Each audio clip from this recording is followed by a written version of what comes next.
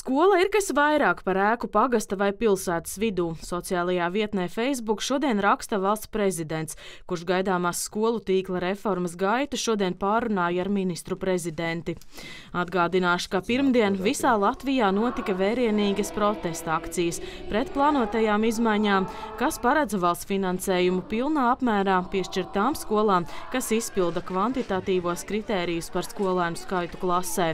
Piedalījās arī, piemēram, Engu Unguris vidusskola, kur skolēnu skaits vidusskolā ir neliels, bet eksāmenu rezultāti salīdzinoši labi. Mūsuprāt, ja skolā ir maz bērnu, bet eksāmenu rezultāti ir virs vidējā, vai tai skolai būtu jāsaglabā valsts finansējums? Es no savas puses jau diezgan skaidri teicu, jā. Es domāju, ka tas ir viens no tomēr būtiskiem rādītājiem. Arī ministru prezidenta pauda, ka centralizēto eksāmenu rezultāti tomēr varētu būt viens no kritērijiem, jo izglītības un zinātnes ministrijas izstrādātais modelis vēl nav iesniegts valdībā un vēl priekšā daudz diskusiju.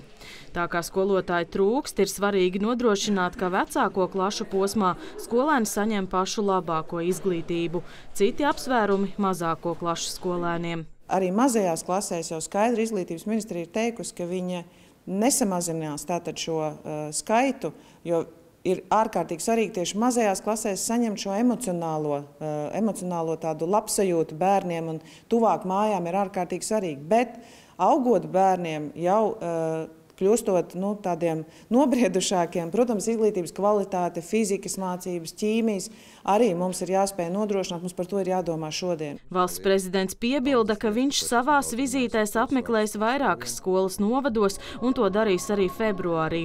Un viņš aicināja politiķus reformas virzībā saglabāt cieņpilnu attieksmi, pat ja visu iecerēto neizdodas panākt uzreiz. Es neuzstāšos par lielāko izglītības ekspertu, bet es domāju, ka es saprot aptuveni tās pamattendences.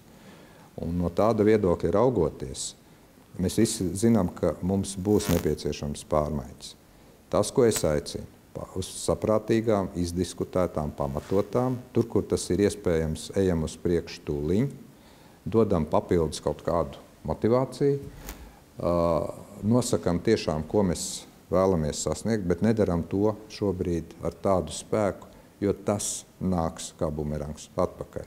Viena no mūsu problēmām, ka labu gribot, spiežot, mēs bieži dabonam atsitienu. Iepriekš izskanējis, ka valdībā izglītības ministras Andas Čakšas piedāvāto modeli varētu skatīt apmēram pēc mēneša. Savukārt pašvaldībām lēmumi par skolu slēgšanu vai pakāpes samazināšanu jāpieņem līdz 1. martam. Vita Anstratijāns Goldbergs, Latvijas televīzija.